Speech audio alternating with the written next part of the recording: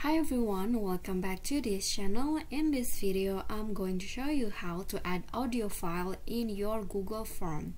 So uh, this probably is useful to you when you uh, add some question about probably a listening question or a listening task and you can use this method so first i'm going to add a new question and then type in the question listen to this audio file to answer the next three questions for examples.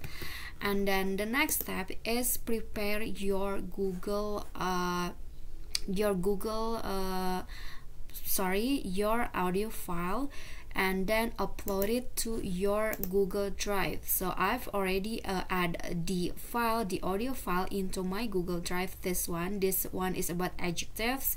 And then what you need to do next is get the link, get the link to this file, uh, get link, and then copy the link and insert it into your question like this. Okay so when you're done you can just share it to your uh, students or your friends or colleagues. So what uh, this will appear as the link. So i'm going to uh, show you. I'm going to open the uh, google form as the responder.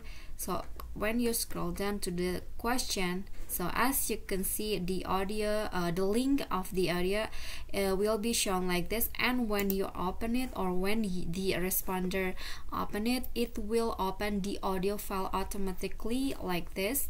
And they, they can just play the play the audio to answer the one two three listening okay so that is how you can add audio file into your google form. I hope this video is helpful to you. Thank you guys so much for watching. Don't forget to click the thumbs up icon leave a comment and also subscribe our channel. See you guys on the next video. Bye bye